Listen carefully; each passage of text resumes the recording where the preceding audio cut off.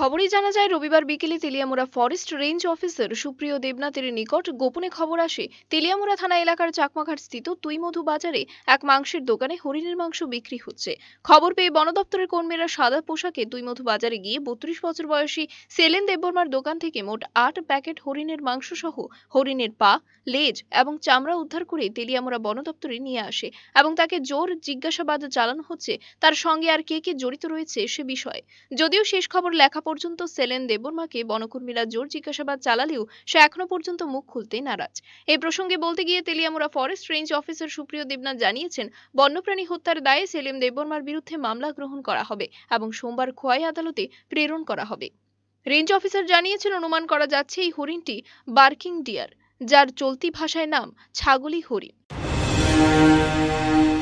অনেক দেড়টার সময় আমার কাছে একটা খবর আইছে যে সেলেন দেবর্মা একজন মাংস বিক্রেতা তুই মধু বাজার যেটা চাকমাকাটি কু পার্কের অপোজিট সাইডে যে বাজারটা আছে, এখানে হরিণের মাংস বিক্রি করতেছে। তো সেই অনুযায়ী আমার একজন স্টাফে আমি সিভিল ড্রেসে এখানে পাঠাইছি মানে ভেরিফিকেশনের জন্য। পাশাপাশি আমি একটা টিম নিয়ে এসে একটা প্রায় মানে প্রাইভেট ভেহিকেলে করে ওইখানে গেছি। কারণ যদি ফরেস্টের গাড়ি দেখে তারা পালাই যেতে পারে। তো আমার যে স্টাফটারে আমি পাঠাইছিলাম সিভিল ড্রেসে সে গিয়ে আমার কনফার্ম করছে যে ওইখানে একজন লোক হরিণের মাংস বিক্রি করতেছে। তো সেই কনফার্মেশন পাওয়ার পরেই আমি আমার যে স্টাফটা আছে টিমটা আছে টিমটা নিয়ে এসে ওইখানে গেছি এবং তার দোকান থেকে আট প্যাকেট আটটা প্যাকেটের মধ্যে মাংস রাখা ছিল, হরিণের মাংস। ওইটারে আমি সিজ করছি এবং লোকটা অ্যারেস্ট করছি।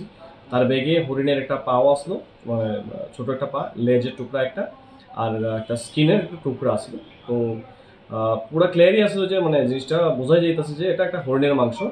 তো অ্যারেস্ট করার পরে আমি লোকটারে আমার অফিসে নিয়ে আইছি।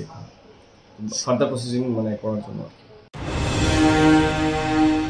Bureau Report, Search India, TNN.